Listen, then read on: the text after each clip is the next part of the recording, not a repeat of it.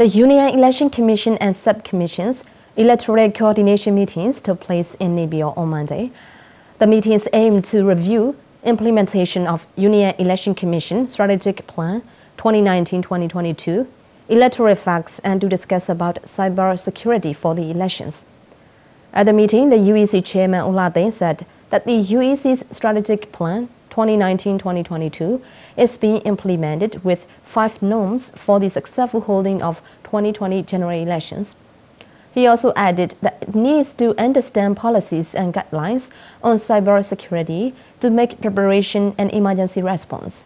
He also called on stakeholders to participate in compiling rules and regulations, depending on the previous experience gained from the elections.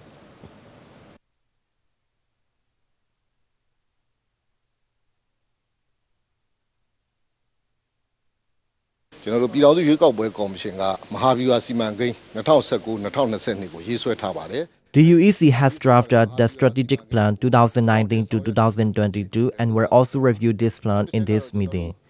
We will also discuss on upgrading of case tracking and management system handbook for the smooth electoral process and review electoral facts from the previous elections, measures on compiling voter lists as well as the necessary facts for candidates list.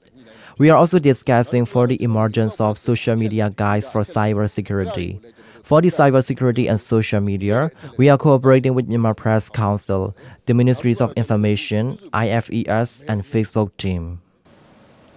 Members of UEC, officials from the Commission Office, Region and State Election Sub-Commissions, and IFES joined the meeting that will be held from 7 to 10th October.